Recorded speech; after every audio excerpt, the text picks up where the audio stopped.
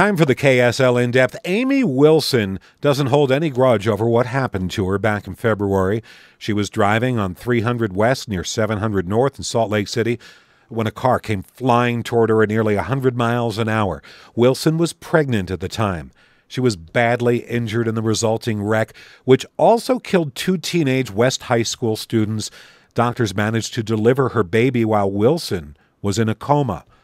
Well, our reporter caught up with Amy Wilson today to ask how her little girl, Grace Deliverance, is doing. They were concerned that she would not be able to feed herself or use her the left side of her body or speak at all.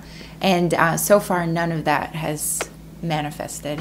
So she's using her whole body. She's uses both hands, you know, and she cries. We heard her talking and, just yeah, a little bit ago. right.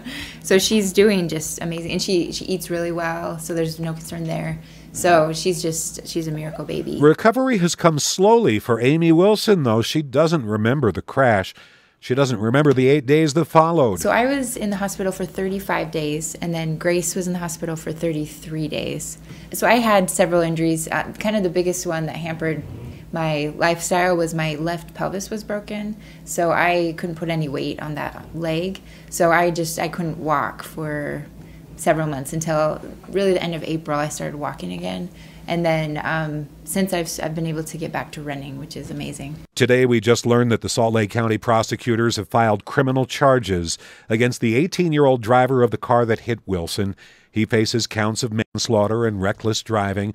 Wilson says she and her family wish him no ill will. We feel just compassion towards them and we have no feelings of, of anger or resentment, you know. And I think we've all been teenagers and made decisions like that where it's just a moment. And luckily for most of us, our decisions don't have this type of an impact, you know. So our hearts go out to, to the people that were involved and just we hope that they can heal and move forward as well with their po- lives. Police originally suspected the driver who's now facing charges, Abraham Miranda, had been drag racing at the time.